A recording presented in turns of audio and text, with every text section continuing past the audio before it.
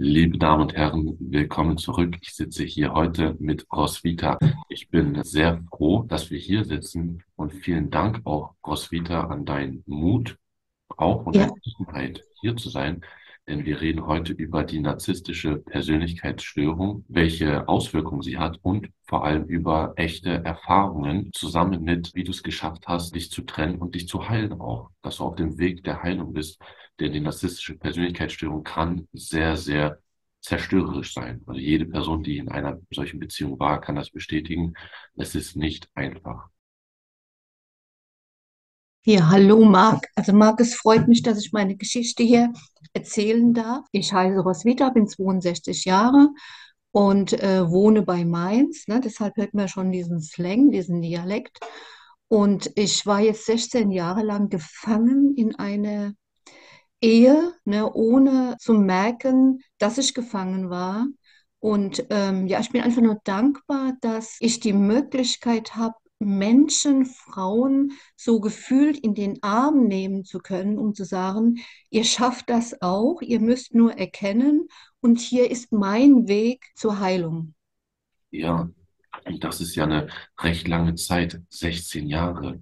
Wann bist du darauf gekommen, dass vielleicht irgendetwas nicht richtig stimmt? Eigentlich, wenn ich, wenn ich so zurück überlege, von Anfang an waren immer so komische Situationen, wo ich gedacht habe, oh, das ist aber grenzüberschreitend gewesen. Also das war schon teilweise auch unmoralisch. Der hat, ähm, der hat ähm, nach einem halben Jahr schon kam schon die erste äh, Entwertung, so wie du hast ja grüne Unterhosen an oder äh, der, der äh, ähm, sich sexuell für meine Tochter interessiert. Ne? Es war Sommer, wo ich gedacht habe, oh, das geht ja jetzt wohl gar nicht.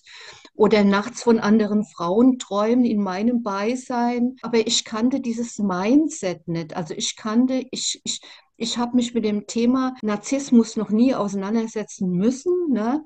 Geschweige denn so ein Mensch wie er äh, kennengelernt. Das, ähm, ja, ich habe ihm einfach vertraut und habe gedacht, okay, wir sind hier zusammen, wir sind ein Paar und das ziehen wir gemeinsam durch, gemeinsam, ne? Genau.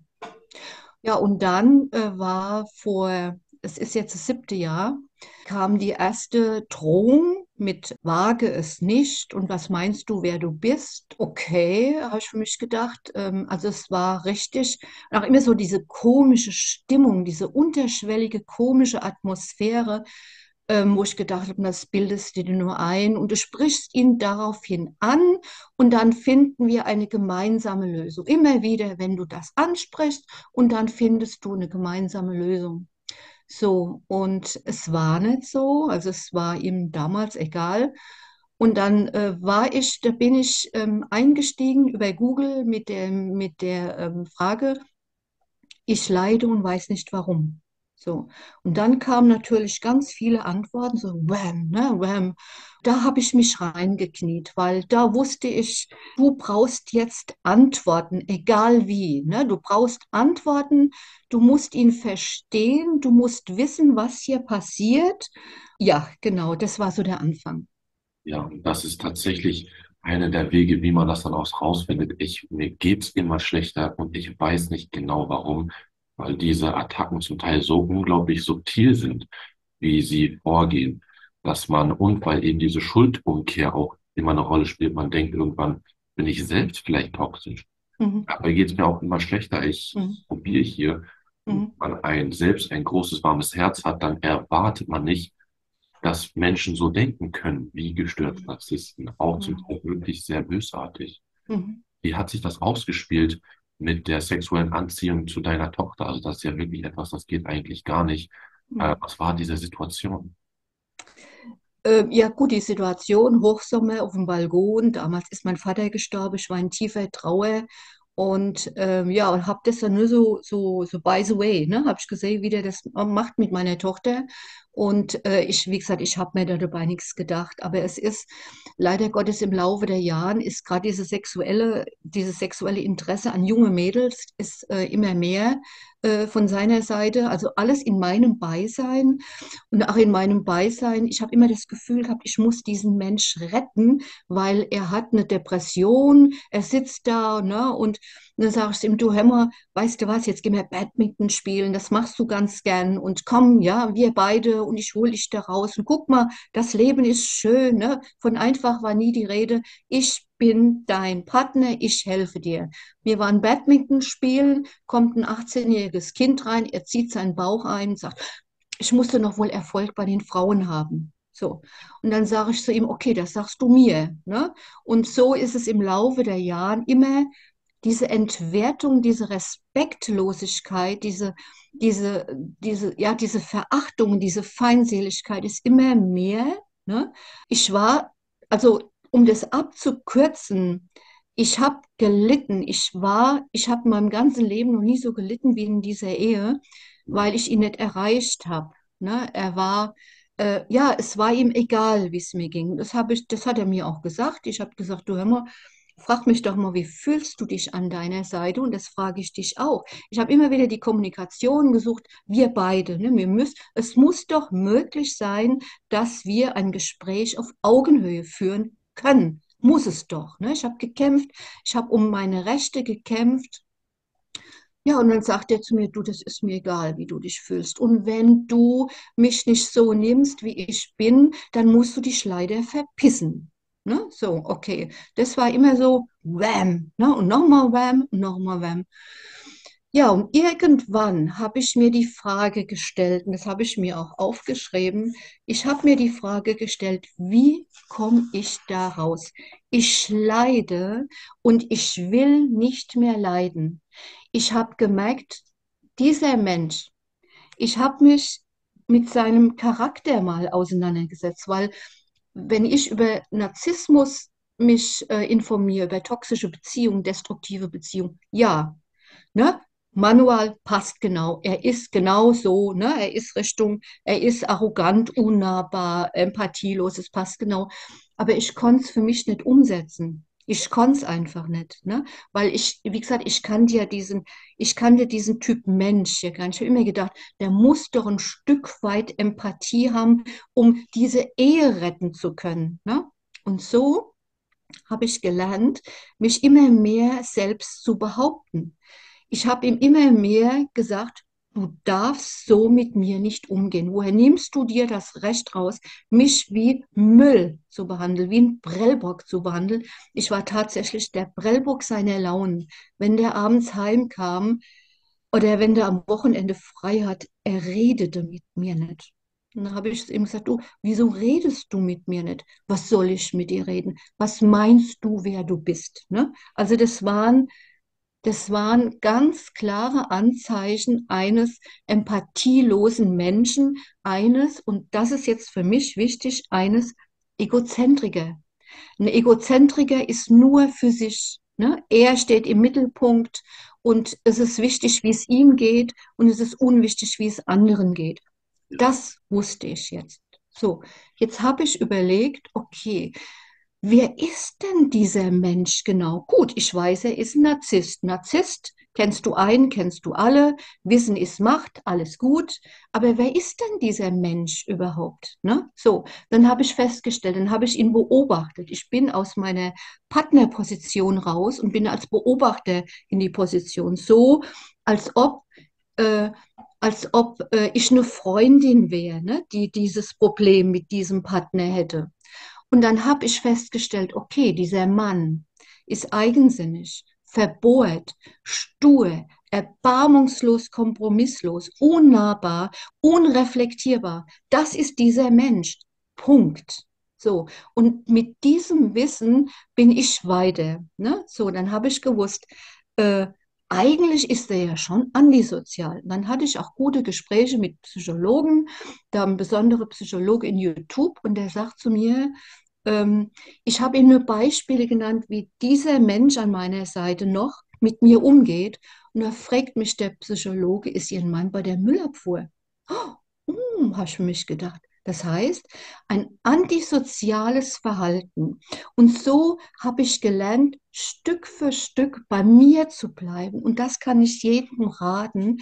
Die radikale Selbstzuwendung, die radikale Selbstakzeptanz. Und ich bin ja in diesem, ich bin ja noch so in diesem Baujahr. Äh, diese Kriegsengelgeschichte, ne? Das heißt, damals ist ja von meinen Eltern ist ja mein Willen gebrochen worden. Ne? Das ist ja dieses, diese, diese schwarze Pädagogik gewesen.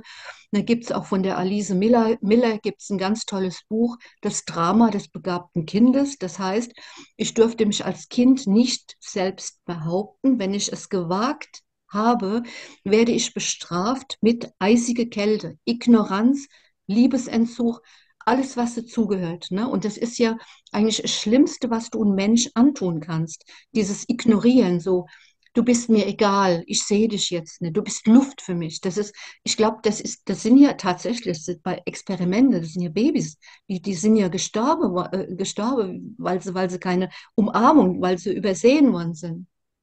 So, und durch dieses Wissen, okay, jetzt weiß ich, dass dieser Mensch so ist, wie er ist. Das heißt, niemand, und das war für mich wichtig, niemand kommt an ihn ran.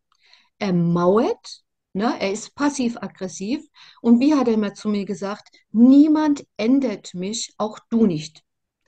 Gut, mit diesem Wissen habe ich Beispiele gesucht, wie er mit anderen umgeht, wie er mit seiner Ex-Frau umgegangen ist, die war suizidgefährdet mehrmals, genauso wie ich. Ich war auch mehrmals suizidgefährdet wegen ihm. Ne? Sein eigener Sohn hat zu mir mal gesagt, ähm, er hätte noch nie so einen gefühlskalten Mensch kennengelernt wie sein eigener Paar.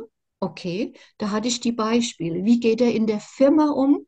Wie ist er in der Firma? Okay, dann habe ich gewusst, okay, Mobbing, das Thema Mobbing war für mich noch interessant. Was ist Mobbing in einer Partnerschaft?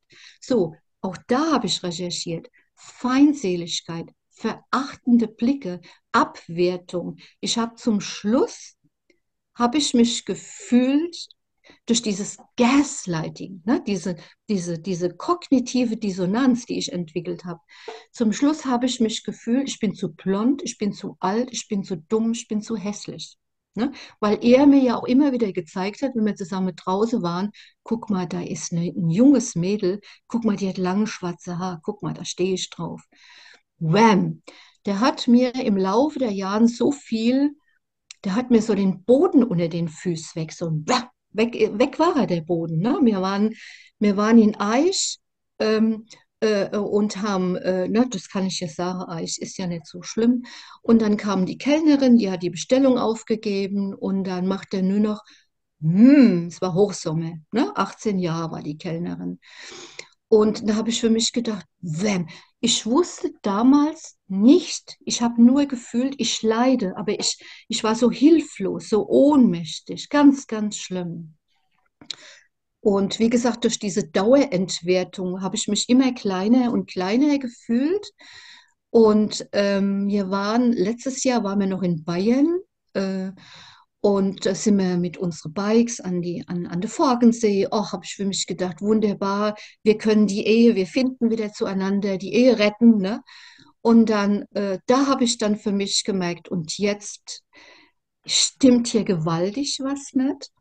Ähm, es kam eine Joggerin uns entgegen, die war um die 30 und er seinen Bauch reingezogen und dann sagt er zu mir, guck mal, diese Joggerin läuft extra hier vorbei wegen mir, weil ich so besonders bin. Da habe ich für mich gedacht, okay, Mädchen, jetzt suchst du dir wieder Beispiele, ne? Besonders, ach ja, er kann äh, an einem Schaufenster nie vorbeigehen, um sich selbst anzugrinsen. Ne? Also ich habe dann richtig Beispiele.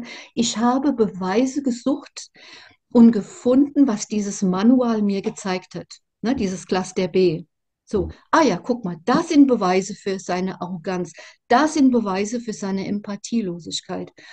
Und so kam ich Stück für Stück raus. Was dieser Mann äh, im Laufe der Jahre, also es passiert, es passiert nicht ähm, von heute auf morgen, sondern es passiert über Dauer, dass dieser Mann die absolute Macht und Kontrolle über meine Gefühle, über meine Wahrnehmung und über, und über meine Meinung hatte. Die absolute Kontrolle und ich habe es nicht gespürt. Der hat mich letztes Jahr, 2000, nee, der hat mich 2021 körperlich angegriffen, mit ganz, ganz schlimmen Worten tituliert. Ich habe mich ähm, fünf Sekunden lang im Krankenhaus gesehen und ähm, anstatt mit mir darüber zu reden, sich zu entschuldigen, hat er es noch schlimmer gemacht und hat mich sechs Wochen lang ignoriert, bestraft. Ich habe ihn immer wieder angesprochen. Ich sagte, du hör mal, ich habe mich so und so gefühlt. Das hat mir Angst gemacht. Warum tust du das? Wir müssen darüber reden. Und da sagt er zu mir, Kopfkino. Das war nicht mein Problem, Kopfkino. Ne? Und da habe ich gemerkt, verdammt und so, nee, du musst da raus egal wie. Und da habe ich für mich überlegt, es gibt drei Möglichkeiten in dieser Beziehung. Entweder ich verlasse die Situation, ich verändere sie oder ich akzeptiere sie. So, diese drei Möglichkeiten habe ich immer wieder für mich. Kann ich so ein, eine Situation akzeptieren? Kann ich sie verändern? Kann ich diesen Mann noch erreichen? Nein. Also muss ich diese Situation verlassen, weil ich bin in einer Situation, die mich krank macht. Ne? Die mich krank macht. Und wenn ich, wenn ich da nicht gehe, dann, ähm, dann werde ich noch kränker. Und das Schlimme ist ja auch, wenn man probiert, es zu verändern oder anzupassen, dann wird es auch nur schlimmer und es funktioniert nicht. Entweder mhm. man ordnet sich komplett unter mhm. Oder es gibt nur Terror die mhm. ganze Zeit. Mhm. Hat er ja zu mir gesagt. Entweder du unterwerfst dich mir oder du kannst dich verpissen. Hat er direkt so gesagt. Mhm. Das ist aber Roswitha wirklich stark, dass du das dann auch erkannt hast und dann auch durchgezogen hast. Weil äh, du hast dich ja dann auch von ihm getrennt. Ich habe äh, überlegt, so, wie kann ich mich emotional schützen? Also man muss sich nicht gleich trennen, weil dann ist man überfordert. Ne? Sich erstmal ein emotionaler Schutz. Äh, da habe ich überlegt, okay, was kann ich jetzt für mich tun? Und an erster Stelle ist, und das ist so wichtig zu erkennen, sich zu entschulden. Sich zu entschulden, ne? um zu erkennen, okay, es ist nicht meine Schuld, dass er mich so behandelt, weil der Feind an meiner Seite, das hat er immer zu mir gesagt, brauchst du dich zu wundern. Ne? Also wenn du anders wärst, ne, dann würdest du mir genügen. äh, ja, es ist ja. tatsächlich an, an, an erster Stelle ist, sich zu entschulden. Das heißt, er hat diese Gewalt, er ist ja aggressionsbereit. Ne? So. Ja. Und diese Gewalt hat er schon in meine Ehe gebracht. So, das war, das war ein riesengroßer Schritt. Äh, da ähm, nimm's nicht persönlich. Ne? Das ist so wichtig zu erkennen, ähm, dass das ähm, mit mir, was er gemacht hat, mit mir gar nichts zu tun hatte, dass es sein, sein Charakter ne, war. Das ist, wie gesagt, das kann ich jedem empfehlen.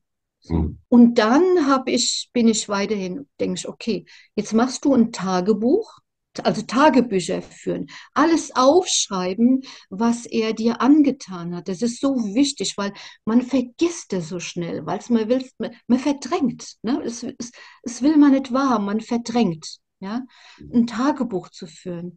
Und dann, was mir noch geholfen hat, ist äh, tatsächlich 30 Tage lang jeden Tag aufschreiben, wie fühlst du dich an dieser Seite, an, an der Seite von diesem Mann? Wie geht er mit dir um? Ne?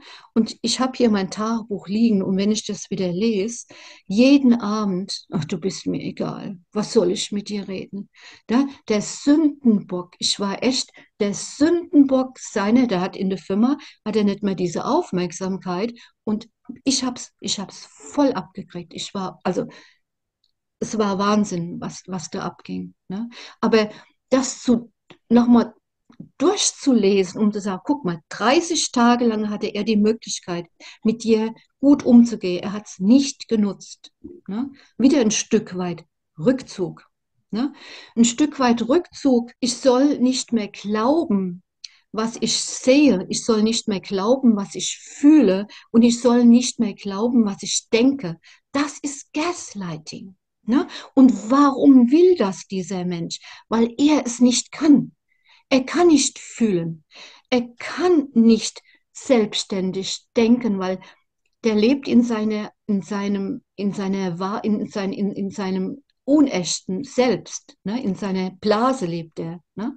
Der, der, der lebt in seiner eigenen Welt. Er ist was Besonderes. Jeder ist dumm. Das hat er auch schon mehrmals zu mir gesagt. Ich bin dumm, obwohl ich die bessere Ausbildung habe wie er. Äh, äh überhaupt, das sagt mir zu niemandem. Ne? Das ist ein No-Go. Ne? Und ähm, äh, zu erkennen, okay, er ist total unkreativ. Ne? Er, ist, er ist nicht in der Lage, ähm, äh, zu fühlen oder zu sehen, was die Klarheit und die, und, und, und die Wirklichkeit ist. Die Wirklichkeit. So. Dann habe ich für mich entschieden, okay, mein Schatz, zu mir. Ne? Wo sind denn deine Stärken? Wo sind deine Werte? Wo ist deine Würde? Die hat er dir genommen meine Stärken, eine offene, klare Kommunikation, meine Stärken, auf Menschen zuzugehen und direkt die, die, die, die, die Themen, die, die Konflikte zu lösen. Ne? Das, meine Stärke, äh, jeden respektvoll äh, zu behandeln, diese gewaltfreie Kommunikation, die ich irgendwann gelernt habe in meiner Ausbildung, die zu übertragen, äh, das sind meine Stärken. Und der, der, der, das Schlimme ist dabei, die wollen, die wollen nicht deine Schwächen, die wollen deine Stärken untergraben. Und warum machen die das? Dass die sich erhöhen können, dass du schön klein bist, dass du dich unterwirfst. Je kleiner du dich fühlst, umso höher fühlt, er sich. Ganz klar, ganz klar. Immer wieder so viele Beispiele. Wenn ich groß bin, bist du klein. Du bist nix, du bist Dreck. So, das, das sind so Dinge, die ich gelernt habe. Okay, meine Würde, meine Integrität, wo ist die? Die ist weg. Ne? Weil wenn du, wenn du ihm mehr glaubst wie mir, wenn du was wahrnimmst und er sagt, hm, du bist zu empfindlich, du bist zu dumm, du siehst es falsch, dann glaubst du ihm, mhm. weil, du, weil du vertraust ihm. Ne? Ah wenn der das so sagt, der ist ja dein Ehemann, der meint es ja gut mit dir, also vertraust du ihm jetzt, dass, dass es so stimmt.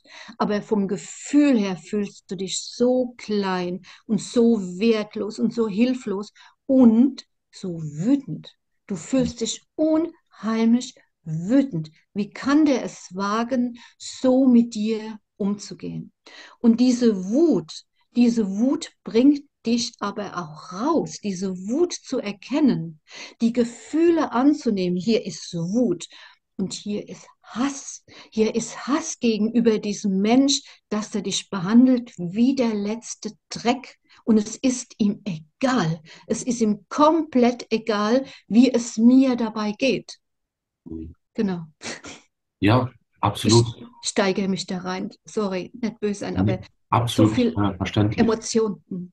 Ja, absolut verständlich. Es ist nicht einfach ein Crossfitter. Ich finde das, du hast sehr, sehr viele Punkte richtig gut auf den Punkt gebracht. Ich kann absolut 100 Prozent nur zustimmen.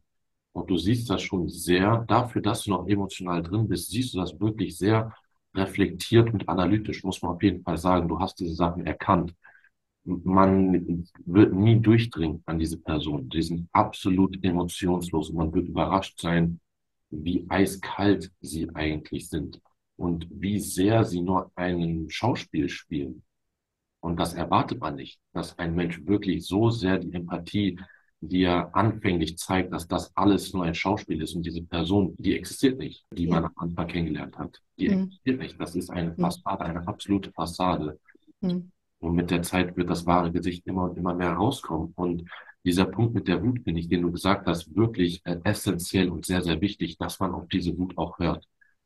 Denn was sehr gestörte Narzissten auch gerne machen können, ist, sie sagen dir dann, du hast Probleme mit deiner Wut.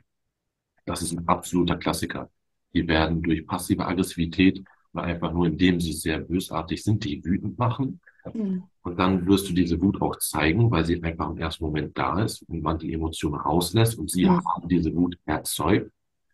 Und dann werden sie dir signalisieren, du hast Probleme mit dir stimmt irgendetwas nicht, du hast Wutprobleme sag mal, du musst zum Therapeuten gehen. Und dann denkt man selbst, oh je, ich habe Wutprobleme, ich darf nicht immer so übertreiben. Das ist aber genau das Richtige, was du gerade gesagt hast, eben auf diese Wut zu hören. Warum bin ich jetzt so wütend? Ganz klar wegen dieser Person, weil sie das immer so ähm, hervorruft, diese Wut, und dann wirklich sagt, Moment mal, warum bin ich eigentlich so wütend? Und ich finde das auch richtig gut mit dem Tagebuch. Denn wenn die immer mal wieder ihre Schauspiel rauspacken, dann denkt man, ah, jetzt endlich ist es wieder soweit. Hm. Jetzt ist wieder die wirkliche Person da. Hm. Und jetzt ist wieder alles gut. Und die können das Hm. unglaublich gut und ignorieren komplett alles Schlimme, was sie jemals gemacht haben, tun so, als ob das nicht existiert, und machen wieder einen auf heile Welt. Und dann kann man sehr schnell vergessen, wie schlimm es eigentlich war. Hm. Und dass man dann wirklich ganz klar weiß, okay, einmal alle zwei Monate ist mal ein Tag dabei, der gut läuft, wo er sagt, Hm. die Fassade wieder rausholt aus der Tasche und sonst geht's mir einfach nur immer und immer schlimmer. Hm. Roswitha, wie hast du es dann geschafft, endgültig den Sprung zu machen und dich zu befreien? Also wie gesagt, erkennen, demaskieren, schützen und äh, entschulden. Ne? Das sind so die, die Punkte, die ähm, äh, dadurch, dass ich über Jahre hin gegaslightet worden bin, ne? Und dann braucht es auch eine gewisse Zeit, um äh, da wieder äh, rauszukommen. Und man soll sich auch nicht quälen. Also ich sage immer, jeden Tag einen kleinen Schritt zu dir. Ne? Und irgendwann kommt dann dieser Punkt, wo du dann morgens aufwachst und denkst, oh, dir geht's gut. Du hast diesen Mensch komplett durchschaut und der tut dir eigentlich nur leid. Ne? Dieser Mensch tut dir nur leid, weil der ist gefesselt. Der ist, der ist ein Kellerkind für mich mittlerweile. Er ist gefangen. Er ist gefangen in seinem, in seiner Verbohrtheit, in seinem, in seiner Sturheit und kommt oder will da nicht mehr raus. Er ist eigentlich ein kleines, motziges Kind, was nicht erwachsen werden will von, von de, das Thema ähm, Persönlichkeitsentwicklung, ne, was wir beide jetzt machen, ne, äh, ist dieser Mann nicht bereit dazu. Der sagt dann, nö, so wie ich bin, bin ich in Ordnung. Und er hat jahrelang gekämpft, dass er so ist. Das heißt, es findet keine hm, Entwicklung statt. Ne? Ähm, und wie ich dann da rauskam, wie gesagt, ach so, äh, was ich rauskam, auch mit, mit, ähm, mit ähm, Imaginationen kam ich raus, mit, mit Affirmationen, ne? mit äh, zeig mir, wer du bist, ne? und ich sag dir, was du machst. Ne? Ähm, immer wieder zu mir selbst zu stehen, das ist der erste große Schritt zur Heilung radikale Selbstzuwendung, radikale Selbstakzeptanz. Was will ich? Was sind meine Bedürfnisse? Ne? Was brauche ich in einer Partnerschaft? Was ist mir wichtig in einer Partnerschaft? Immer wieder, es gelingt am, am Anfang, weil man ist ja das wollen die. Man ist ja nur mit diesem Mensch beschäftigt. Ne? Von morgens bis abends immer so diesen, dieses, dieses, diese Gedanken, ne? so warum tut er das und wie komme ich darauf. Aber Schritt für Schritt ohne Schuldgefühle zu sagen, was will ich? Ne? Ähm, Imaginationen, wie stellst du dir deine, ähm, deine ähm, Partnerschaft vor? Ne? Welcher, welcher Mensch möchtest du an deiner Seite? Bilder, fühlen, fühlen. Wie geht der Mensch mit dir um an deiner Seite, was du dir wünschst? So, guck mal, mein Schatz, ich sehe, dir geht's nicht gut und ich bin jetzt bei dir.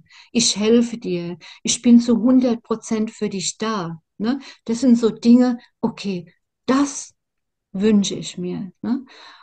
Das, das brauche ich. Und das hat auch ein jeder verdient. Hm, absolut. Man muss Absolut. sich beweisen. Nein. Dazu eine Person, die sich selbst auch nie beweist und äh, eine komplette Doppelmoral hat und einem das Gefühl gibt, man muss dich immer wieder beweisen. Du musst dich jetzt beweisen, das hast du schlecht gemacht und jetzt musst du dich beweisen und richtig gut auf den Punkt der radikalen Selbstakzeptanz. Mhm. Denn diese Menschen geben einem ja immer das Gefühl, dass egal was man macht, äh, es ist schlecht. Egal was man macht. Hm, Und das auch wirklich sehr, sehr gut zu verstehen. Auch was du gesagt hast, Roswitha.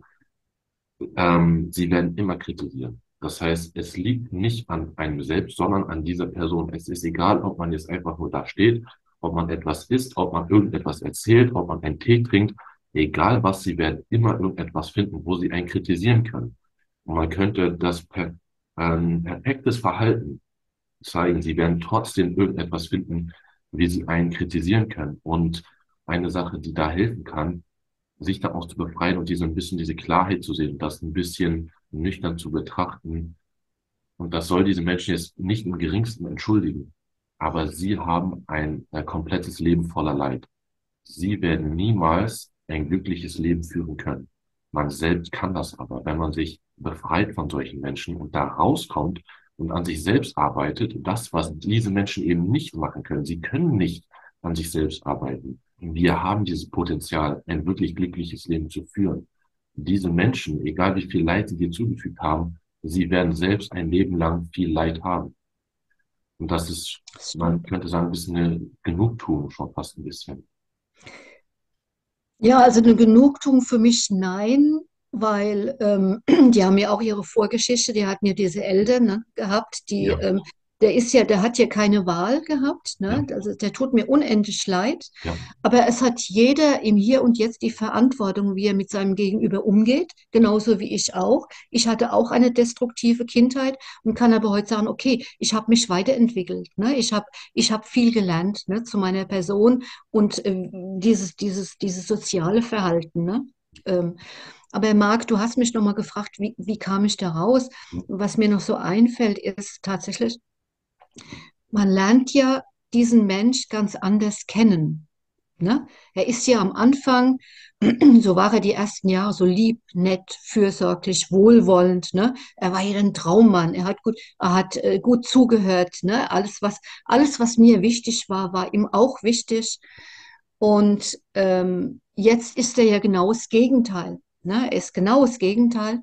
Das heißt, ich habe äh, ähm, äh, über, über ein Ritual habe ich diesen Mann beerdigt. Ne? Ich habe einen Abschiedsbrief geschrieben und bin tatsächlich an unseren Friedhof und habe ein Kreuz ähm, gebastelt aus zwei Stöcke, ganz einfach, und habe mir eine leere Stelle gesucht, wo ich niemand störe und habe Abschied genommen von diesem Mensch, den ich kennengelernt und geliebt habe.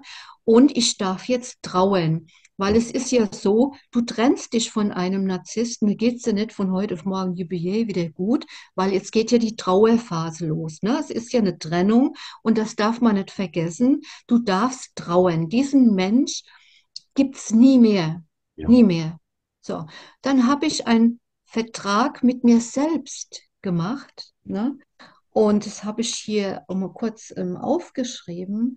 Ähm, ab sofort lenke ich meine komplette Aufmerksamkeit ganz bewusst auf mich. Das ist diese radikale Selbstzuwendung. Äh, ich alleine bin für mein Glück verantwortlich, weil das ist ja auch so eine Abhängigkeit. Nur er kann mich glücklich machen. Nur er ist in der Lage. Ne? Das hat man im Laufe der Jahre gelernt. Ne? Das ist ja diese Abhängigkeit. Ich erkläre mich bereit, von dem Auslöser dieser Gewalt Abstand zu nehmen und finde so zu neuer Kraft. Ne? Loslassen, loslassen. Ich rede meine Beziehung nicht mehr schön und finde keine Entschuldigung mehr für sein toxisches Verhalten. Und das ist mein Mantra. Das ist mein Mantra, die, die, die Gewissheit, ich bin, äh, ach so, und was für mich noch wichtig war, diese, diese Bedürfnisse eines jeden Menschen, zum Beispiel Bindung, Sicherheit, Unlust, Lustvermeidung. Äh, ich habe hier ja eine Bedrohung erfahren, ich habe hier keine Sicherheit erfahren. Ne? ja, äh, die Gewissheit, dass ich ähm, hier nie eine Sicherheit finden würde, eine emotionale Sicherheit. Die Gewissheit, dass ich dieses Unrecht, was mir hier widerfahren ist, benennen kann jetzt, weil das ist auch so wichtig, dieses Unrecht zu benennen. Es ist mir Unrecht hier, ist mir geschehen. Unrecht in der Form von Verbot von Gefühlen, Wahrnehmung und meiner Meinung. Ne? Verbot von meinem Ich, ne? Mein verlorenes Ich, ne? Wo ich mir dann wieder ähm, selbst Stück für Stück zurückgeholt habe. Wer bin ich? Wer bin ich überhaupt? Ne? Was ist, was ist meine, was ist mein Charakter, mein, mein, mein Wesen, wie zum Beispiel, was sind meine, meine Werte, Loyalität, ne? Oder halt Gerechtigkeit, die Wahrheit, ne? Das, das ist mein, das sind meine Werte, die, die er mir zerstören wollte. Und so kommt man Stück für Stück daraus. Stück für Stück. Ja. Wie lange hat das gedauert? Entschuldigung. Diese Phase von dem Erkennen, ich werde da jetzt dran arbeiten, zu dem, ähm, ich kann jetzt weg, tatsächlich. Also es gab verschiedene Situationen, wo ich gedacht habe, jetzt stirbst du. Du, du, du fällst tot um. So wie der mit dir umgeht, ähm, die, die 20-jährigen Mädels, die sind, die sind schöner, attraktiver. Guck mal, ich zeige hier mehr Interesse wie, wie von dir. Du bist nichts mehr wert, guck dich mal an. Äh, da habe ich für mich gedacht. Und äh, es ist tatsächlich so, und das, das finde ich so toll bei einer Veränderung. Eine Veränderung kann nur passieren, wenn man echt ganz tief unten liegt und sagt, und Ja, jetzt muss was passieren, sonst ja, gehst du kaputt. Es, ja. das, der hat ähm, vor acht Wochen hat er mit mir Schluss gemacht. Ich habe ihm noch einmal eine Chance gegeben, habe mit ihm noch mal ein Gespräch gesucht. Wir müssen reden. Das kannst du, so darfst du mit mir nicht umgehen. Ich habe Beweise, dass du mich belügst. Ich habe Beweise, dass du mich betrogen hast. Ich habe Fakten mit ihm gesprochen und mit diesem Gespräch hat er einen kompletten Abbruch mit mir gemacht. Alles das Konto gesperrt, seine Wäsche wäscht er, also komplett von Tisch und Betten Abbruch gemacht. Die, die, die Türen hier im Haus zugeschlossen, die ihm wichtig sind. Also unvorstellbar grausam. Ohne dass irgendwie mal nochmal ein, ein Gespräch stattgefunden hat, du hör mal, weil eigentlich hätte man ja eine Entschuldigung erwartet, wenn der Partner sagt, du hör mal, ich habe dich jetzt durchschaut und jetzt ist hier Schluss. Ne? Diese, ne? Und der macht es dann wieder mal noch schlimmer. Das ist ja der Punkt. Und da mag, ich habe gedacht, ich muss sterben, wie er mit mir Schluss gemacht hat. Ich, du, du stirbst jetzt, du, du stirbst jetzt. Ne? Und ja, ich sitze jetzt hier bei dir und ich bin wieder da. Ich bin umso mehr wieder da und sage, okay, das macht nie mehr mit mir irgendjemand, dass der mich so verletzt und demütigt, erniedrigt, klein gemacht. Nie mehr. Mhm. Absolut. Man merkt auch diese innere Stärke von ihm. Und das Ich ist ganz dir. normal, dass man, dass es verletzend einfach ist. Und das ist ein, äh, ein richtiger, ein absoluter Klassiker. Man denkt, so weit wird die Person nicht gehen. So Mhm. eiskalt kann die Person gar nicht sein. Mhm. Jedes Mal ist die Antwort ja. Die Person ist so eiskalt und ähm, will gar nicht Harmonie, sondern versucht einem immer noch irgendwie einen reinzudrücken und Mhm. reinzuwirken. Und das ist leider die Sache bei solchen Menschen. Wenn man probiert, da dran zu arbeiten oder etwas zu machen, oder wenn man äh, sich denkt, jetzt werde ich dieser Person nochmal einen reindrücken, es wird nicht funktionieren. Es wird nie funktionieren. Sie sind so sehr damit beschäftigt, äußerlich immer toll dazustehen. Sie Mhm. werden dir immer noch einen reindrücken, Mhm. auch wenn sie sich jedes Mal dabei selbst zerstören. Mhm. Aber sie wollen dir und sie müssen dir unbedingt noch mal einen reindrücken. Und wenn sie mit der Realität konfrontiert werden, Ja. das heißt, ich habe dich durchschaut, Mhm. darauf kommen sie gar nicht klar Mhm. und können dann einen absoluten Rückzieher machen. Mhm. Das passt sehr, sehr gut mit diesem Bild überein, dass er Mhm. einmal erkannt hat, oh, jetzt kann ich tatsächlich nicht so weitermachen. Mhm. Sie hat mich durchschaut. Mhm. Und dann kommt ein Error in seinen Mhm. Kopf und er geht auf Panikmodus. Mhm. Jetzt muss ich ihr noch ganz schnell einen reinbürgen, Mhm. dann bin ich ganz schnell weg. Und das, ähm, ja, ist verletzend zu sehen, wie sehr ähm, die Beziehung dieser Person eigentlich egal ist, wie sehr man selbst die eigentliche Persönlichkeit, wie sehr das einfach äh, für ihn keine Rolle gespielt hat, sondern man wirklich nur ein äh, Zweck zum äh, Mhm. da war. Und es gibt da ganz klar unterschiedliche Phasen, die man durchgeht, wenn man an diese Erkenntnis drankommt. Also die erste Phase ist ganz klar, äh, man verliebt sich, auch idealisieren. Dann eben schwenkt das sehr subtil, aber zum Teil sehr, sehr schnell auch um in diese Demütigung. Und dann kommt der, ja, der Verlust seiner eigenen Persönlichkeit, seines Mhm. Selbstwertes. Man wird Ja. verblendet, man wird fremdgesteuert. Die Gedanken sind nur noch ähm, wirklich komplett voll mit dieser Person. Das ist schwer zu erklären, wenn man das selbst nicht durchgemacht hat, aber diese Person hat diese, ja, diese, äh, dieses Talent, immer irgendwie einzubeschäftigen. Auch wenn sie jetzt nicht da ist, ist sie immer irgendwie im Kopf drin. Und dann, wenn man drauf kommt, kommt auf jeden Fall Hass. Es kommt eine Phase von Hass. Und jede Person, die äh, sich da äh, freigebrochen hat, kennt das. Es gibt diese Wut, es gibt diese Hass, die ist ganz natürlich. Das ist der Hass und diese Wut, die sich aufgebaut hat über die Jahre. Und äh, ich bin hier, um zu sagen, diese Phase wird weggehen. Wenn man sich damit auseinandersetzt, wenn man sich auf sich selbst konzentriert, wenn man rückblickend die Sachen analytisch betrachtet, er ist einfach so und kann nichts dafür, dann wird dieser Hass auch weggehen. Entschuldigung. Roswitha, wie gehst du mit der Heilung vor nach der Trennung? Nachdem er noch dir einen reinwürgen musste, wie geht man mit der Heilung vor, dann auch wieder sich selbst dann da wieder zu finden?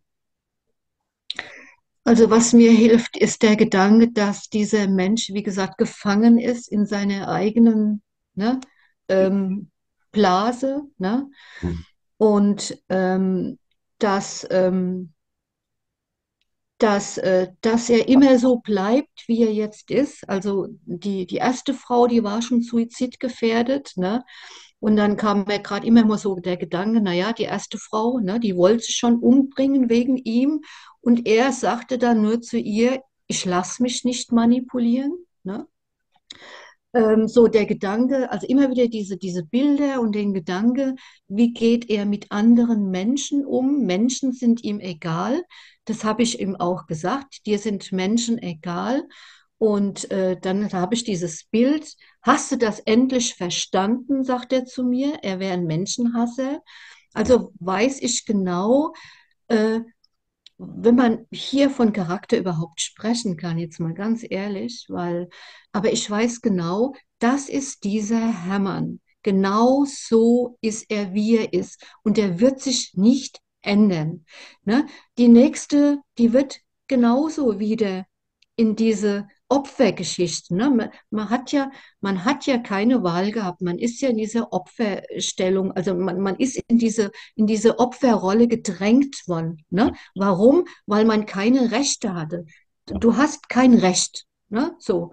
Und irgendwann muss man aber erkennen, oh doch, das ist, das ist das Recht jeder, von jedem auf emotionale Zuwendung. Das ist das ist die Würde eines jeden Menschen. Ne?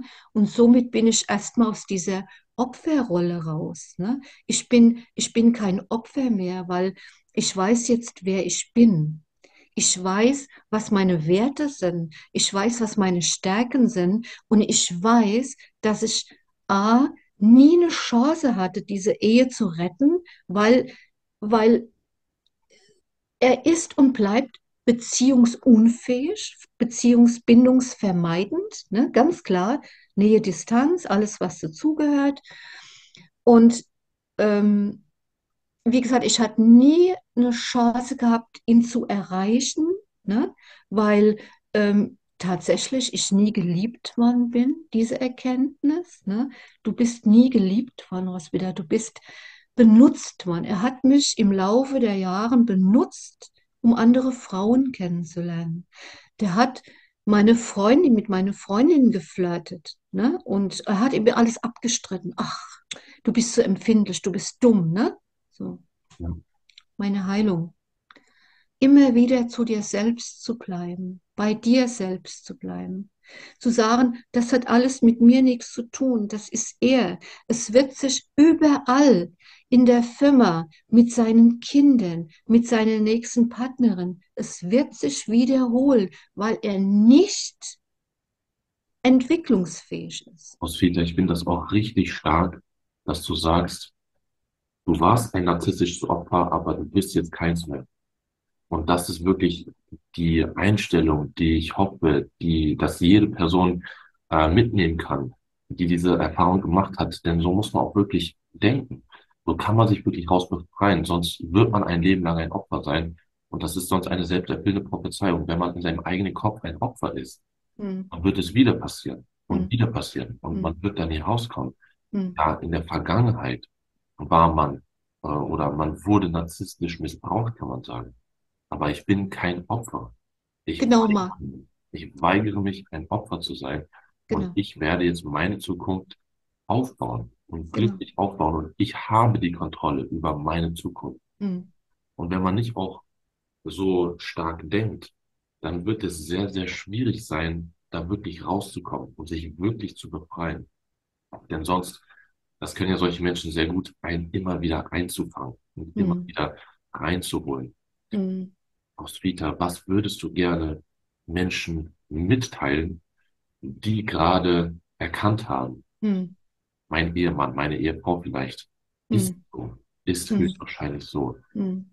Was mache ich jetzt? Hm. Wie kann ich so stark sein wie du? Was würdest du diesen Menschen gerne mitteilen? Ähm, also tatsächlich die Glaubenssätze, ne? Äh, die Glaubenssätze zu hinterfragen, wie muss ich denn sein, um geliebt zu werden? Die Glaubenssätze, muss ich mir Liebe verdienen? Ne? Die mal zu hinterfragen oder zu sagen, nö, ich bin jetzt so, wie ich bin, genüge ich. Wenn ich einen anderen Partner an meiner Seite gehabt hätte, dann hätte ich ein gutes Gefühl. Nur dieser Partner bringt mich ja in dieses Leid. Ne? Also die Glaubenssätze zu hinterfragen und dann auch zu sagen, stopp, ich bin mir wichtig. Ich persönlich bin mir wichtig. Ich persönlich habe das Recht zu fühlen, zu denken, wahrzunehmen, was ich gerade will. Ne?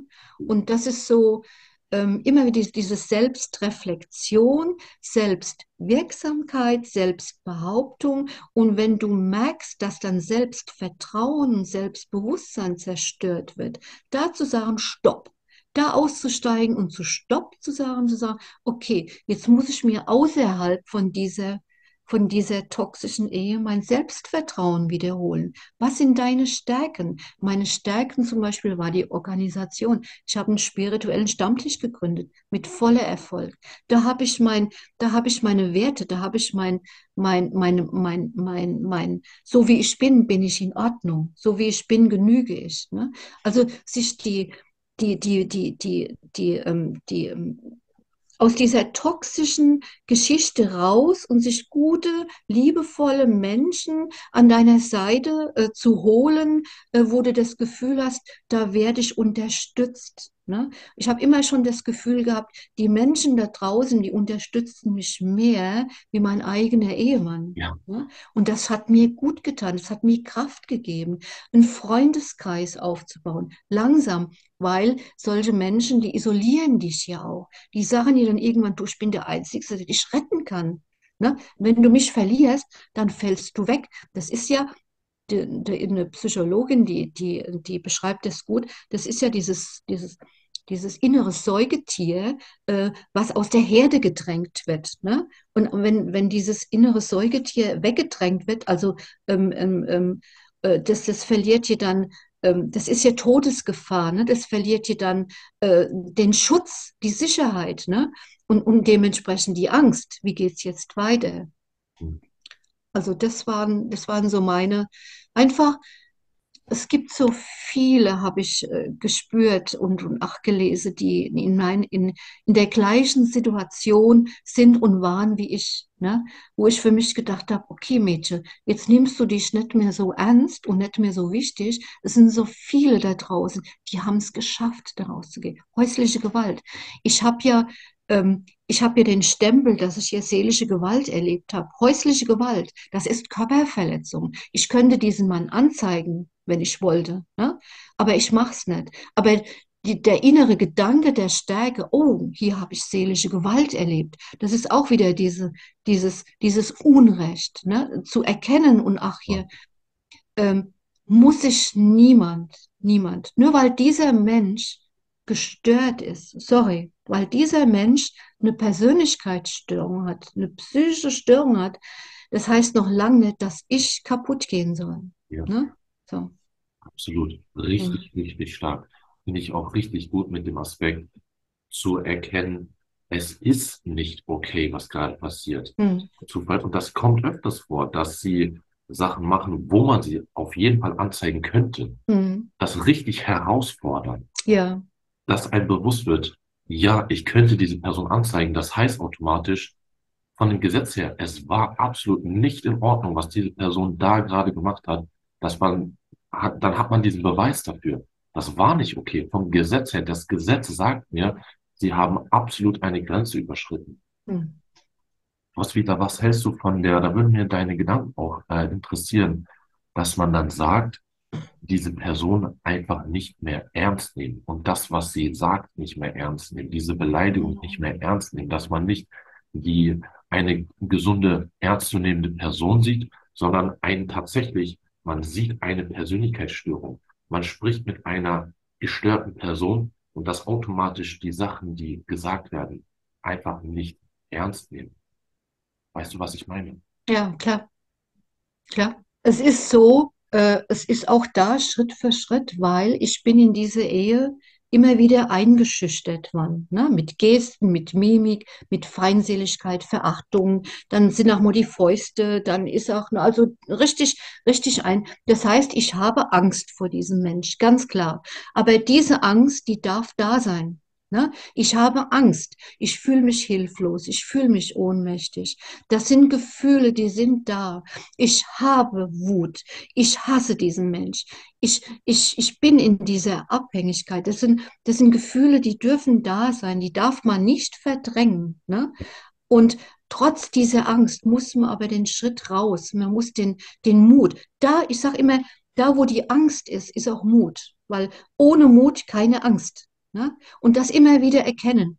Aufschreiben. Ich habe so viel, ich habe tatsächlich, ich habe in meinem Schlafzimmer am Spiegel, habe ich, hab ich so ein, so ein äh, habe ich mir so eine Tafel gemacht.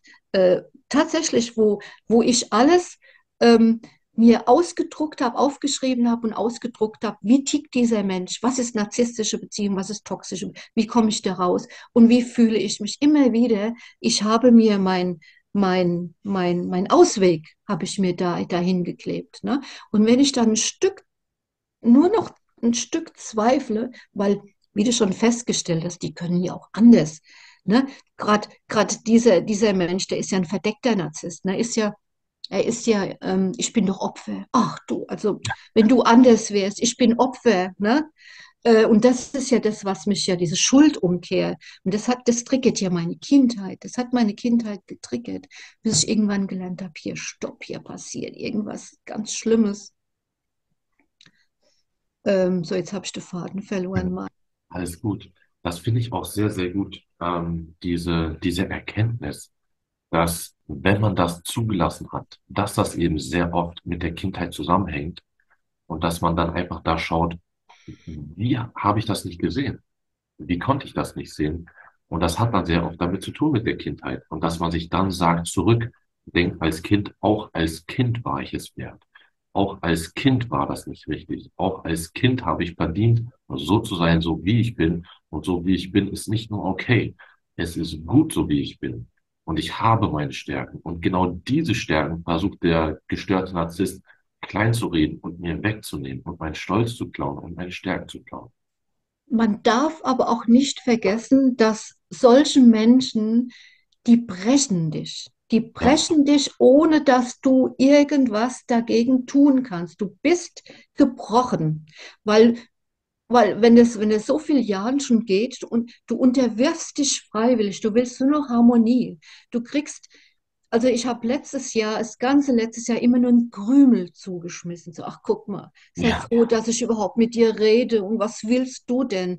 Und ich habe diesen Krümel, habe ich angenommen. Ich habe diesen, ich war mit diesem Krümel zum Schluss zufrieden, dass ich überhaupt dankbar war, dass ich ein Stück weit Aufmerksamkeit von ihm bekommen habe. Das muss man sich mal geben. Man wird gebrochen und das und das ist, finde ich, so wichtig ähm, ähm, wo ich gedacht habe, naja, du bist zu dumm dazu oder du bist, du, du, du bist zu schwach dazu. Die brechen jeden. Und das ist toll. Die, die suchen sich Menschen, die selbstbewusst sind, die suchen sich Menschen aus, die wissen, was sie wollen. Und wenn die dann gebrochen sind, dann fühlen die sich stark. Ne? Also es ist niemand schuld, sei es jeder, jeder fällt auf dieses Gaslighting rein, diese, diese Gehirnwäsche. Ne? Ähm, sogar Psychologen, jeder, Ärzte, in, in, in jedem sozialen Bereich, die brechen jeden, weil die haben tatsächlich dieses Mindset oder dieses, keine Ahnung, wie man das nennt. Ne? Es ist, Ja, ich, ich würde als äh, kleinen Zusatz da sagen, es ist, wenn man das nicht kennt, ja. man da auf jeden Fall reinfallen. Hm, Es gibt äh, Menschen, die nicht drauf reinfallen, sind Menschen, die sowieso sehr abgehärtet sind, hm, die auch selbst, ähm, ich sag mal, eine harte Kindheit hatten und schon früh merken mussten, was sind sie, äh, wer sind sie und was will ich. Und hm, dass sie von Anfang an so gesehen auf emotionale Tricks nicht reinfallen und direkt hart wirken und direkt halt direkt abweisen. Und das ist ja das Schwierige bei solchen Menschen. Entweder man unterwirft sich hm, oder die Beziehung ist komplett kaputt und man wird hm, nie wieder mit dieser Person sprechen und es hm, wird nie wieder gut sein. hm, Das kreiert, kreiert auch diese Angst. Wenn man hm, nicht mitmacht, dann wird man auch ewig gehasst von dieser hm, Person. Und das ist das Schwierige.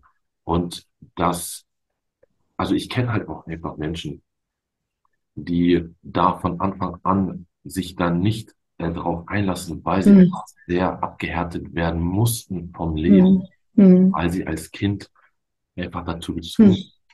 Und solche Menschen sind aber, Menschen mit der narzisstischen Persönlichkeitsstörung, auf diese Menschen gehen die gar nicht zu. Da hm, rennen die auch von weg. hm, Das heißt, auf die Menschen, die sie zugehen und die Menschen, die sie halt ernst nehmen, die kriegen sie eigentlich, wenn sie sich wirklich Mühe geben, bekommen sie einen irgendwie gepackt.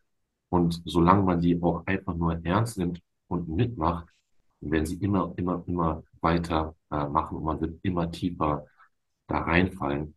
Und ähm, ja, dass man sich tatsächlich einfach nicht im geringsten eine Schuld macht. Die haben mich immer fertig gemacht. Es ist nicht meine Schuld. Ich muss mich nicht immer beweisen. Und es ist einfach sehr, ja, sehr schwierig mit solchen Menschen. Und man muss erstmal einfach bei dem Punkt ankommen zu sagen, jetzt bin ich bereit, tatsächlich ein Leben lang einfach nie wieder mit dir sprechen zu wollen. Die suchen sich Menschen, die übertolerant sind und die Ja, überanpassungsfähig sind. Das ist genau das. Deshalb sind wir Opfer. Ne? Übertolerant, überanpassungsfähig. Genau. ja, absolut. Und das sind ja eigentlich warmherzige Charaktereigenschaften.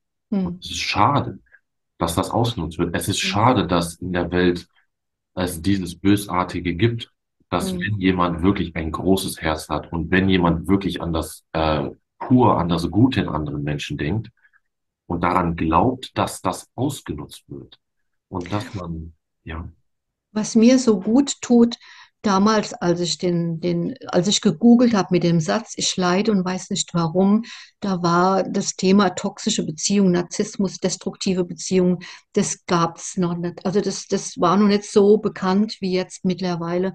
Und damals, da gab's, da war, da war das Internet, ne, war nicht so, ähm, so fit jetzt wie, wie jetzt, ne, heute. Und was, was mir so gut hilft, ist, wenn äh, der wird sich ein nächstes Opfer suchen. Ich weiß, dass er das jetzt schon macht, ne? Und die tut mir unendlich leid. Die würde ich jetzt so gern in den Arm nehmen und sagen, hier, schütze dich. Aber auch sie muss die Erfahrung machen. Und ich weiß, auch sie wird unglücklich sein. Auch sie wird ihn nicht erreichen können. Und sie wird irgendwann anfangen zu googeln, genauso wie ich. Und die wird sofort eine Antwort bekommen. Ne? ja, Dass sie dann hoffentlich die Stärke gleich hat, weil je länger man in so einer Ehe ist, umso abhängiger ist man. Ne? ja, Dass die gleich erkennt, okay, hier stimmt was nicht, hier, hier geht gewaltig was schief, ich verliere mein Ich und hier steige ich jetzt aus. ja. Roswitha, ich muss auch wirklich sagen, wie beeindruckend das ist, dass du ähm, das tatsächlich wirklich ähm, erkannt hast und geschafft hast und gesagt hast, nein, ich stehe jetzt zu meiner Person. Weil das eben, ihr kanntet euch ja nicht nur ein, zwei Jahre, sondern Mhm. ihr hattet ja äh, eine Ehe. Aber Ja, du hast trotzdem gesagt, ich kann das einfach nicht zulassen. Finde ich ja, wirklich sehr beeindruckend. Und da können sich wirklich viele Menschen etwas mitnehmen und davon lernen und Kraft davon sammeln, zu sehen, du, Roswitha hat es geschafft. Roswitha hat diese Stärke, dann kann ich das auch schaffen. Dann ich bin es mir wert, Marc. Jeder, jeder, jeder sagt, ich bin es mir wert. Ne? absolut. Auf jeden Fall. Roswitha, vielen, vielen lieben Dank für deinen Mut und deine Offenheit. Finde ich richtig stark. Ähm, ich bin mir sehr sicher, dass sich viele Menschen äh, etwas mitnehmen können davon und wirklich gelernt haben und selbst auch Stärke mitnehmen konnten von diesem Gespräch. Ich würde jetzt am liebsten jeden umarmen, ne, der dieses, äh, der dieses ähm, Gespräch jetzt äh, sich anhört, weil äh, na, eben derjenige, der, der uns jetzt hörte, dem geht es genauso wie mir. Ne? Also der ist genauso unglücklich. Und ähm, ich würde am liebsten alle umarmen, die jetzt das alles hier anhören und sagen, hier Mut machen. Es kommt der Punkt, wo du echt beide Fäuste machst. Du spürst die Fingernägel in deiner Hand und du schreist raus und jetzt reicht's. Genug ist genug. Das ist der Punkt, wo man dann, das ist der erste Schritt, also der, der, ja überhaupt, ne, einer der ersten Schritte zur Heilung, zu sagen, und jetzt reicht's. Ja, sehr gut gesagt. Ich danke, Marc, ich danke für die ähm, Gelegenheit und dass ich da ähm, Menschen helfen kann, ne, die in der gleichen Not sind, die sich gleich, die sich auch so hilflos und ohnmächtig gefühlt haben wie ich. Ja, und das ist wichtig, auch dass man diese Aufklärung hat, dass man, genau wie du sagst, man hat schnell diese Möglichkeit heutzutage etwas zu finden. Und, und man, man ist, man ist letztendlich doch nicht hilflos. Man findet Wege und Möglichkeiten, Heilungsrituale, Imagination, Affirmation, YouTube-Videos. Ich habe gute Bücher, immer wieder, immer wieder. Und bitte keine YouTube-Videos anhören, die dir sagen, so jetzt bist du emotional abhängig, jetzt hast du ein Problem, du kommst da nie mehr raus. Nur Dinge dir anhören, die dein Selbstwertgefühl stärken, die dir gut tun, die dir zeigen, oh, und jetzt schaffe ich es. Ja. Das ist so wichtig. Ja, es gibt es tatsächlich YouTube-Videos, ja. die oha. Ja, jetzt hast du ein Problem. Ja, das habe ich, das hab ich auch mal von der Paartherapeutin, ich war ja dann auch in Therapie, sagt die Psychologin, was haben Sie denn gemacht, weshalb Ihr Mann so reagiert, wie reagiert? Ja. Okay, also dann noch äh, rumgestochert und das hat dann eigentlich nur alles schlimmer gemacht. Mhm. Das geht ja gar nicht, dass sie dann sagen, ja. ähm, man soll seine eigene Person einfach komplett ignorieren und sich mhm. unterwerfen. Du kommst ja. raus, das ja. ist genau das Falsche, was man machen soll. Aber, aber auch solche Erfahrungen macht man. Man sucht Hilfe und findet keine. Deshalb machen wir beide das ja. Das ist so wichtig. Man sucht von außen Hilfe und äh, gute Freundinnen, die sagen, also du, das, äh, ich kann jetzt gar nicht verstehen, was du willst. Dieser Mann, der ist doch so ein netter, der ist doch so ein lieber, ein hilfsbereiter. Ich weiß jetzt gar nicht, was du von mir willst. Ne? Man sucht Hilfe von außen, Traumatherapie. Äh, äh, also da, da, muss ich, da muss ich sie auf eine Liste stellen, aber die Liste ist voll, ich sage Ihnen gleich. Also ein Jahr überhaupt, ne? Ein, ein Therapieplatz, also da haben sie keine Chance. Man muss letztendlich sich selbst auf den Weg machen. Man hat keine andere Wahl. Man kriegt keine Hilfe von außen. Die Erfahrung, die musste ich machen. Deshalb stehe ich hier und sitze hier mit dir und sage, Mut. Hört euch Videos an, die euch gut tun, die euch motivieren, die euch Selbstvertrauen geben und dann geht's, geht's weiter. Ja, ja, man findet auf jeden Fall Hilfe. Und wir sind zum Beispiel auch, ich bin der Leiter einer gemeinnützigen psychologischen Online-Beratung. Ja, ja, wir sind genau. vor allem auch für Menschen von narzisstischem Missbrauch mhm. da, weil ja. eben genau wie du sagst, wieder viele Therapeuten kennen mhm. sich da gar nicht so gut genau. aus. Mhm. Weil es, ähm, es schwierig ist, das nachzuvollziehen, wenn man da nicht selbst auch irgendwie Erfahrung gemacht mhm. hat, weil man es schwer äh, zu verstehen ist, wie solche Menschen denken und wie bösartig mhm. sie zum Teil mhm. sind. Das heißt, jede Person, die zuschaut, die mhm. ähm, auf einer Warteliste ist und ein Jahr ja. lang warten muss, wir können genau. direkt nächste Woche, ja. wenn du früh am Tag schreibst, direkt heute noch einen Freitermin machen und eine Beratung mhm. anfangen, ja. dass wir da so schnell wie möglich rauskommen und wir sind vor allem auch gemeinnützig. Das heißt nicht 100 Euro mhm. im Gespräch, sondern 40 genau. im Gespräch. Ja, da war ich sehr dankbar, Marc. Darf ich noch mal kurz? Da war ich sehr dankbar, ne? sofort ein Gespräch mit dir und vor allen Dingen, ganz ehrlich, ich habe ein Vermögen ausgegeben für ein Gespräch, um das Gefühl zu haben, wo arbeitet denn Ihr Mann? Oh, der wird hier bald Single. Oh, den muss ich aber jetzt mal besuchen. Aha. Mhm. Und deshalb bin ich so dankbar, ne? Ein Gespräch mit dir und äh, dass, dass ihr sowas anbietet und das auch mit äh, humanen Preisen, wo man dann sagt, okay, jetzt kann ich auch ein zweites Mal ein Gespräch mehr leisten, ne? Und vielleicht sogar ein drittes Mal. Oder halt Mitglied werden bei euch, ne? Das Ja, ist ja, ist ja fantastisch, was ihr anbietet, ne? ja, vielen, vielen lieben Dank. Und das ist mir auch persönlich sehr, sehr wichtig, weil es geht vielen Menschen schlecht und viele Menschen Mhm. fühlen sich gefangen. Und ich finde das einfach nur falsch, Mhm. dass wir äh, in Deutschland wohnen. Und das sollte auch Mhm. so sein, Ja, dass man ein, wenn man anfängt, sich eine Therapie zu suchen oder anfängt, Hilfe zu ja. suchen, dann geht es einem jetzt schlecht. Mhm. Dann braucht man jetzt Hilfe und nicht in Mhm. einem Jahr, wenn man Genau. auf den Platz kommt. Denn wenn jeder, der probiert hat, mal eine Therapie äh, zu suchen, ich habe das auch schon durchgemacht, äh, meistens wird einem gesagt, wir bieten jetzt, wir haben jetzt einfach keinen Platz für. Mhm. Ja, Und das tut auch nochmal weh. Und das ja, ist total. falsch. Und genau Ja, deswegen baue ich das jetzt auf ja. und stehe absolut dahinter. Und das ist ja nochmal so ein Punkt, wenn du keine Hilfe hast, wenn du keine Unterstützung hast, dann bleibst du umso mehr in dieser toxischen Beziehung. Ne? Das ist ja das Schwierige da dabei. Dann kommst du gar nicht mehr raus. Dann schaffst du das nicht. Du brauchst tatsächlich Hilfe von außen. Wenn's, wenn wenn's nur du bist, wo ich unwahrscheinlich dankbar bin, ne? Oder halt, ne, zu sagen, okay, ähm, dir selbst helfen und Hilfe von außen, was kann ich tun? Äh, keine Ahnung, in einer Selbsthilfegruppe zum Beispiel, ist fantastisch. In einer Selbsthilfegruppe zu gehen, um zu sagen, okay, guck mal, ich bin jetzt hier nicht allein, ich kann mich austauschen. Dieser Austausch ist so wichtig, dass man nicht so alleine gelassen wird mit diesem Thema, ne? Wo ich jetzt auch, ich bin so dankbar, ne? Das glaubst du gar nicht, dass wir beide uns austauschen können. Äh, dann geht's mir richtig gut. Das ist Selbstbewusstsein letztendlich. Ja, auf jeden Fall. Es tut auch wirklich gut zu hören, dass es anderen Menschen wirklich äh, sehr, sehr ähnlich und zum Teil genau gleich ging. Das ist Mm, überraschend, wie diese Persönlichkeitsstörung so unglaublich ähnlich ist in unterschiedlichen Menschen. mm. Und oft hört man, oh mein Gott, das kommt mir absolut bekannt vor. Genauso hatte ich das auch. Genau, Dass es dann wirklich die Persönlichkeitsstörung dahinter ist und man sich ja, nicht etwas einbildet. genau, genau. Ich habe immer gesagt, oh, die kennen meinen Mann. Die, die kennen, genau so geht er mit mir um. Die kennen meinen Mann. Und Und deshalb kennst du einen, kennst du alle. ja, Kennst du einen, kennst du alle. ja, das ist Und je mehr, je mehr du leidest, umso bösartiger ist dieser Mensch. Ganz klar. Ne? Und ich ja. habe richtig gelitten.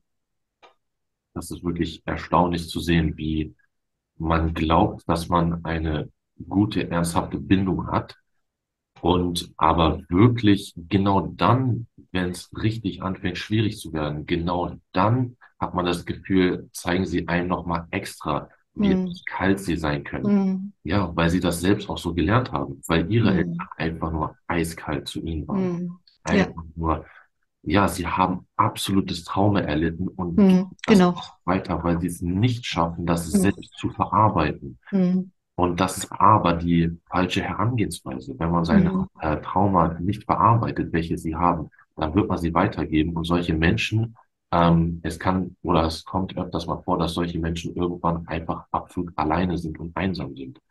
Also, ja, es stellt sich immer wieder die Frage, kann ich meinen Partner noch erreichen? So, ne?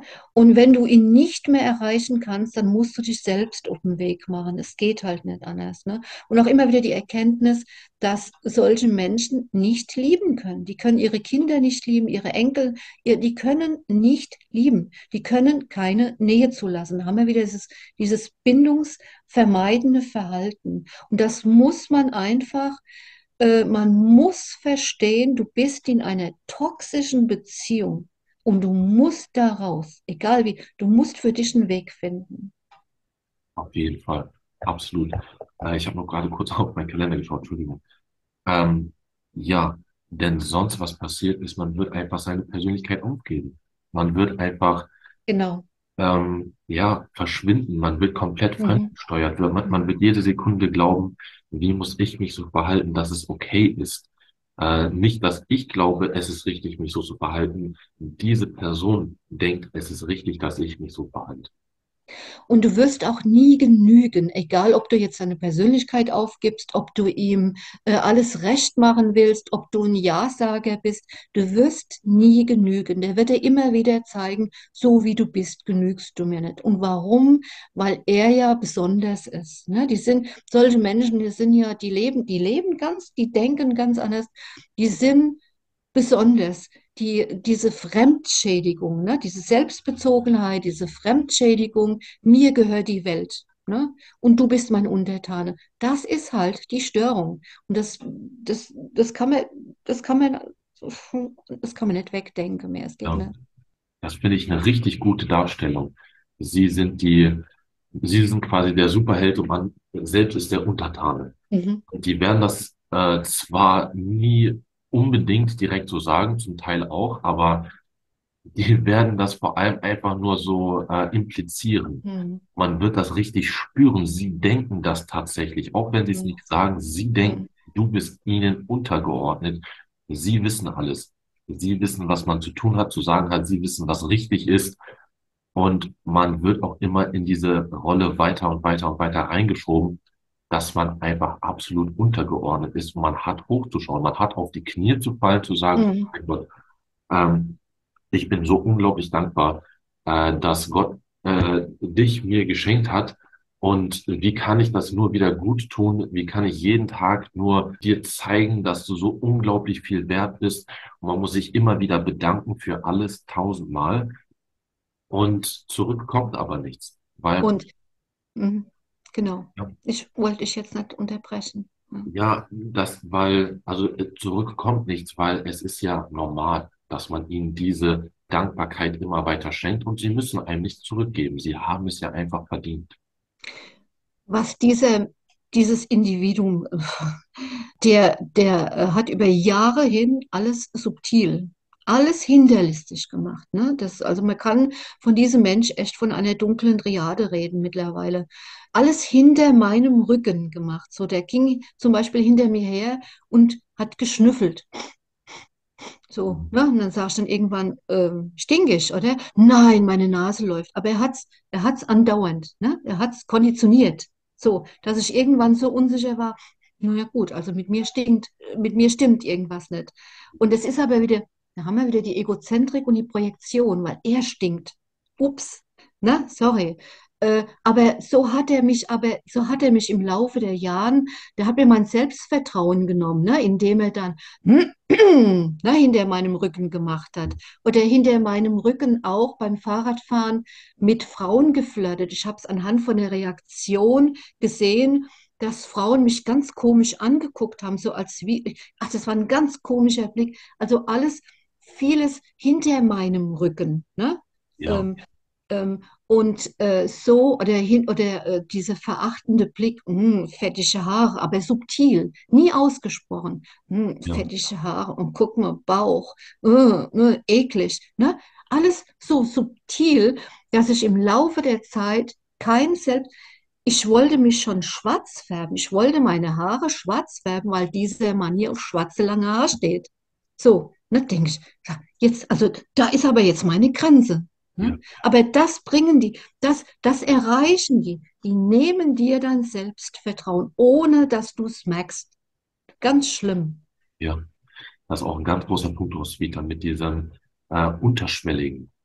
Äh, man kann auch sagen, sie sind oft sehr feige oder generell, sie haben eine sehr feige Einstellung. Hm, Wenn etwas ist, dann, sie sprechen es nie direkt an und das ist einfach eine so fiese, unterschwellige Art, jemandem das Selbstbewusstsein zu klauen, etwas anzudeuten, hm, dann zu sagen, nein, nein, das hast du ganz falsch verstanden, aber ganz offensichtlich trotzdem das immer weiter und weiter andeuten. hm, Und man wird dann einfach anfangen, oh je, versucht die Person mir irgendetwas zu sagen, aber dann hm, tut er so, als ob es nicht so ist, was hm, passiert hier gerade.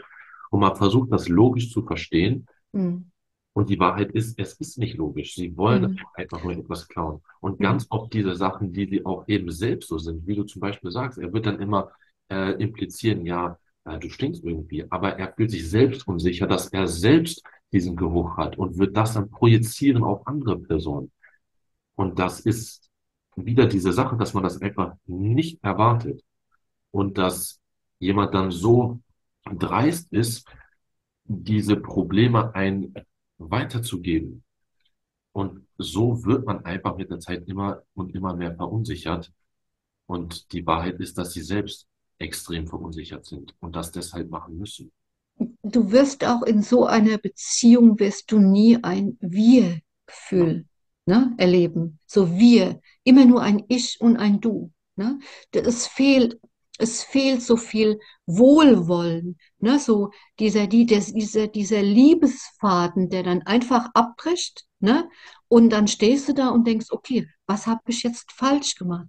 Du wirst, in dieser Beziehung wirst du immer äh, gestresst sein. Ne? Und da ist dir dann auch wichtig, ähm, dass du, dass du dich da ähm, entstresst, weil äh, der Cortisolspiegel, der ist ja immer hoch. Ne? Das ist ja, das ist, ist ja immer unter ferner Liefen. Also du bist nur gestresst. Ne? Die, die, sehen, die sehen schon zu, dass du immer gestresst bist. Sei es eine komische Atmosphäre, sei es also eine komische Stimmung oder wieder diese Demütigung, diese Erniedrigung, äh, die du immer wieder erlebst.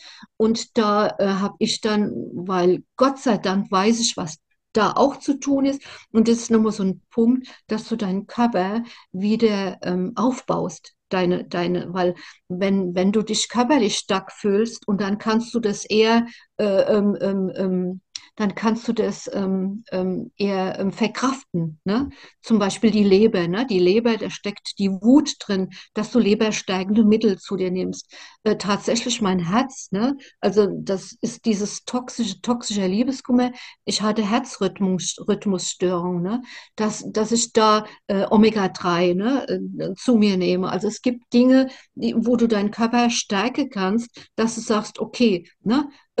Jetzt geht es mir wieder gut, jetzt bin ich voller Power und jetzt schaffe ich es umso mehr, weil diese Energievampire, die saugen dich aus, die laugen und saugen dich aus, dass du dann da sitzt und, und, und gar keine Kraft mehr hast psychisch und physisch hast du keine Kraft mehr, ja. um das zu erkennen. Okay, jetzt, jetzt brauche ich Sport ausgleichen. Wenn du nur spazieren gehst zum Beispiel, du gehst spazieren in, in, in den Wald, du umarmst einen Baum, du fühlst, das gut, das ist jetzt dieses Spirituelle, aber einfach mal wieder dieses, ich darf fühlen. Ne? Du fühlst die Kraft des Baumes.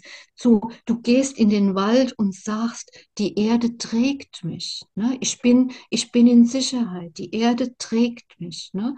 So diese, diese Affirmation, dass du dir wieder selbst auch denkst, okay, ne, hier habe ich meine, meine eigene Sicherheit, mein Körper ist meine Sicherheit. Ne? Das, ja. das, ja, dass man sich dann teilweise tatsächlich, und das ist die Kraft von außen sich holen, was der, dieser Mensch dir ja nehmen will, der will, und das hat mir meine Psychologin gesagt, der will mich zerstören. Der wollte mich zerstören. Der Feind an meiner Seite. Solche Menschen gehen in den Krieg. Mhm. Das darf man nie vergessen. Ne? Mhm. Das ist so wichtig. Auf jeden Fall was man auf jeden Fall auch merkt, was damit einhergeht, dass sie einem wirklich diese Energie ausrauben, wie ein mhm. Vampir, finde ich richtig mhm. gute Darstellung. Mhm. Dass man immer mehr Schwierigkeiten hat, sich zu entscheiden, weil man so verunsichert ist, was ist richtig, was will ich eigentlich? Mhm. Was ist eigentlich meine persönliche Meinung? Mhm. Dass es passieren kann, dass man wirklich immer mehr Schwierigkeiten hat, sich wirklich banale Sachen bei banalen Sachen sich einfach nur zu entscheiden. Soll ich ein schwarzes T-Shirt kaufen, soll ich ein rotes T-Shirt kaufen? Ja, genau. genau An sich genau eigentlich keine große Entscheidung, aber man steht dann da, hm. denkt sich, was will ich jetzt eigentlich? Mhm. Man mit der mhm. Zeit vergisst, eine eigene Meinung zu haben. Man mhm. lernt eine eigene Meinung ja. zu haben. Genau, Marc. Auf den Punkt. Ja.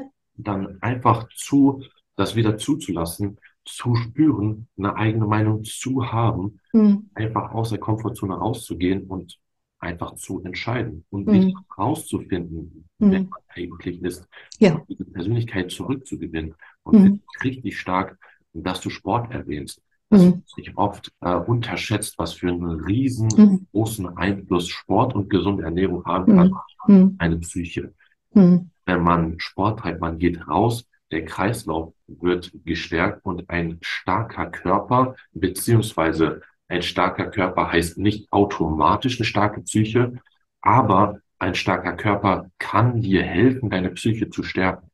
Kann dir wirklich helfen.